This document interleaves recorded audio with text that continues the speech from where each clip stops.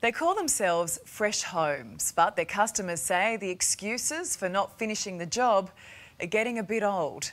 Families waiting years for their dream homes. Now they've united to expose this building company. So tell me, how would you describe Fresh Homes? Stale homes. Chris Allen from A Current Affair, wondering if I could ask you a few questions about some of your unhappy customers. Yeah, mate, no problem at all. Not too fresh at all? Not fresh. Not at all. They're calling it stale homes, not fresh homes, because they say they never get finished. Yeah, well, they we have got delays, mate. It's- Lloyd Payne is the boss of Fresh Homes, a company which promotes itself as being on time. Some of them have signed contracts back in 2020 and they're still waiting. Yeah, some of those guys have made changes to plans that we can't start till we've got a plan finished, you know. I signed my contract on the 18th of December 2020, And wow, that's, so that's well over two years ago. well over two years.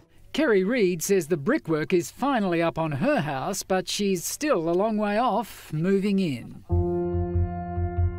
I'm camping in one of my grandson's bedroom and he keeps saying to me, Nana, when is that man going to finish your house?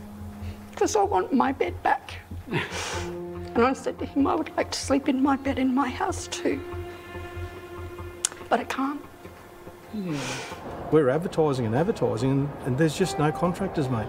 And then we can't. When we could get the contractor, you can be eight weeks out for concrete. We can't. We can't even get the concrete, mate. Do you buy their excuses? Do you think they're reasonable?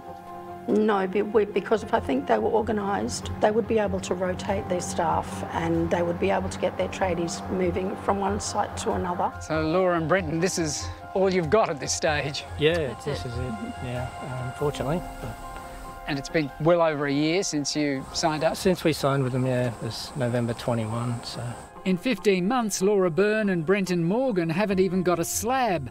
They've had a baby in that time and say they can't afford to rent, so have to live with family. there's too many other buildings going up around here by multiple other builders that um, that are, they're going ahead without a problem. There's whole subdivisions that have been built and people are living in them in the time that we've we've owned this place. So there was some budget cuts that had to be made, and um, well, the toilet was the thing that had to suffer really. Sophie Robertson and her partner Matthew Bythway say there were so many delays on their build, they made videos as a joke, like this one where they pretend to watch TV in their unfinished living room. Where's the hoe? How long did it take to build your house? Two and a half years. I suppose they're tired of hearing the excuses, they just want answers. They're not excuses. They're not excuses.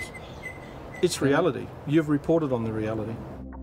Mr. Payne later sent us timelines for all the customers we spoke to showing extensive delays, including in getting materials and tradies on site, something customers like Sophie are well aware of. Continue to take on extensions of time from COVID, um, lots of different excuses. So you think it wasn't justified at all that it took all that time to build? Not at all. We were the last block in our set of houses to actually be finished out of 2,000 homes.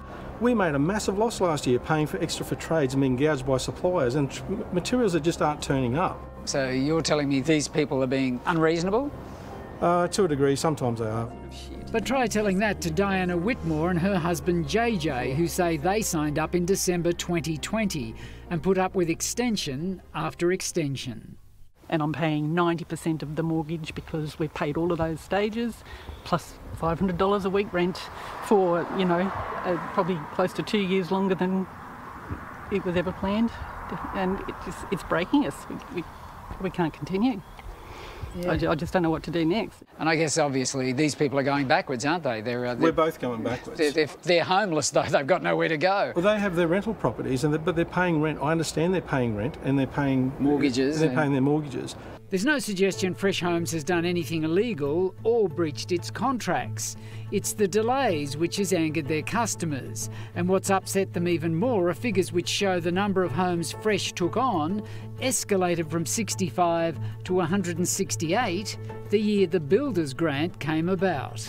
Is part of the problem here that uh, you've overcommitted yourself? That, No, uh, there was no. a- thank you for asking the question. Hundred percent. No, no, no. We have definitely, hundred percent, have not overextended ourselves in that period of time. And has anyone apologised to you? No, no, I was actually threatened with cessation of construction. So you went to the, the building watchdog to query what was going on and they threatened to just stop work. Yeah, yeah. Never.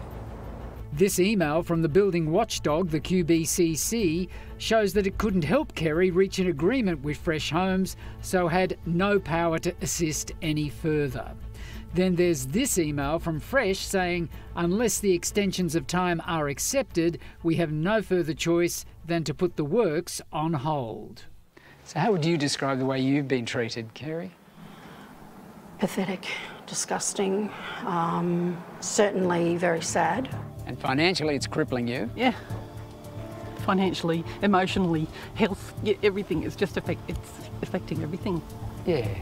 It's, it's sucked all the joy out of it for us, and we, we really don't, we're not interested in it at all anymore. So I guess, as I say, they're calling it stale homes. That must hurt.